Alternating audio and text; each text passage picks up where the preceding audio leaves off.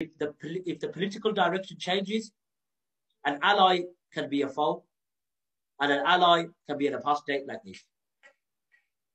An, an ally could be an apostate and kill you as well. And where did Muhammad bin Abdul Wahab kill Uthman bin Muhammad? And what was the reason why? Okay. So what happened was, okay, we're going to get to the story now. I'm going to send it to you. There was a spat. Okay.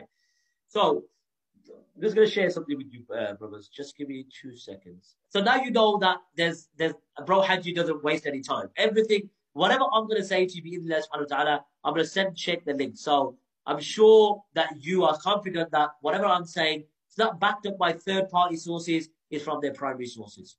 They're from their primary sources. So, bro Hajji is not making anything up. Okay?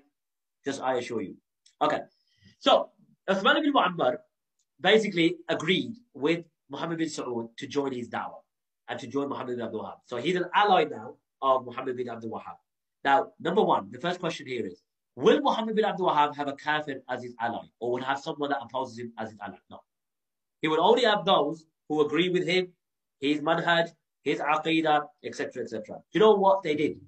In 11, so in 1163, the same year, no, three years later, they killed Uthman ibn Muhammad in the mosque after he prayed Jummah. The Najdis killed Uthman ibn Muhammad and four other people after Jummah Salat inside the masjid. They killed him. Can I ask you a question? Who is who were the first people to kill Muslims in mosques? It was the Khawarij, wasn't it? They killed Ali ibn Abi Talib while he was praying. They killed him inside the mosque.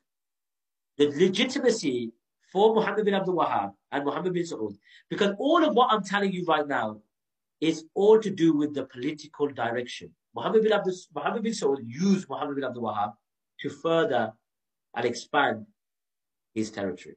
And Muhammad bin Abdul Wahab used Muhammad bin Saud to forward his religious methodology, which is takfirism. So what happened? Uthman ibn Muhammad was killed inside the mosque. Inside the mosque people. Ordered by Muhammad bin Abdul Wahab. 1163. And if you, it, because this is very, very important, what I'm going to do is this event, I'm going to share with you on screen. Okay, I'm going to share this with you on screen so you could read it for yourself. And this is now in, uh, based on their primary sources. So let me just uh, put this one. The rest I'm not going to do it. I'm just going to do this one. So you, you got it with you. Okay. So no, so there you go. So now Muhammad Abdul in his lifetime slaughtered all of these tribes. All of these tribes, as you can see. Slaughtered all of these tribes. One tribe wasn't out, by the way.